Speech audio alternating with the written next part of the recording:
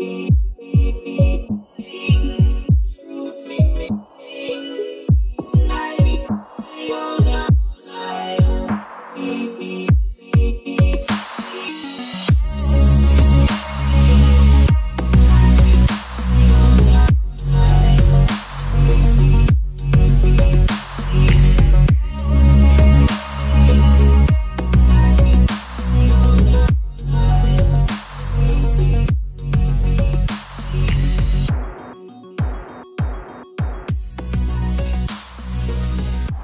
We're here in downtown Oakville and I'm walking across this beautiful new bridge on Lakeshore. This bridge is one of the many phases of the new redevelopment of downtown Oakville. And today I'm going to walk you through what that redevelopment entails.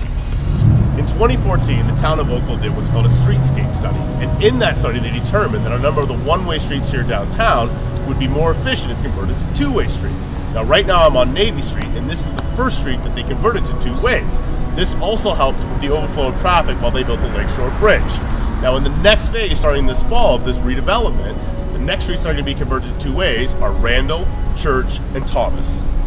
Now the main component to this whole redevelopment is the rejuvenation of the downtown core and Lakeshore Road. Now this really all stemmed from the need to replace the water main and sewer systems under the roads. So the town of Oakville looked at this as an opportunity to modernize the downtown. So what are they going to do? Well, the first thing they're going to do is widen the sidewalks as to allow for better walking flow and allow some of the restaurants to have patio fronts.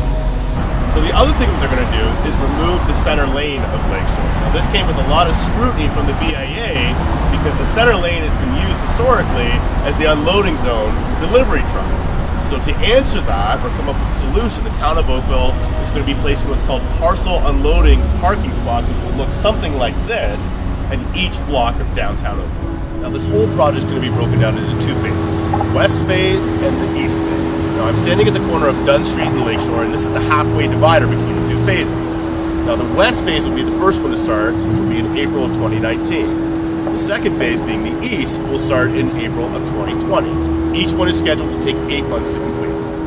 Now the question remains, will the widening of the sidewalks, the removal of the center lane, and the overall rejuvenation of all of Lakeshore help to increase the leasability of these buildings? There are currently 132 storefronts on Lakeshore Road, and 19 of them are vacant. So now we're at the town square, and this is the site of the final phase of the Oakville Downtown Rejuvenation Project. Now, just last June, they released the artist renderings of the proposed changes that are going to The main goal is to drive more people, of course, to downtown, but also be able to host more public events. There's a lot of things happening downtown Oakville, and it is important to the future of Oakville as a whole.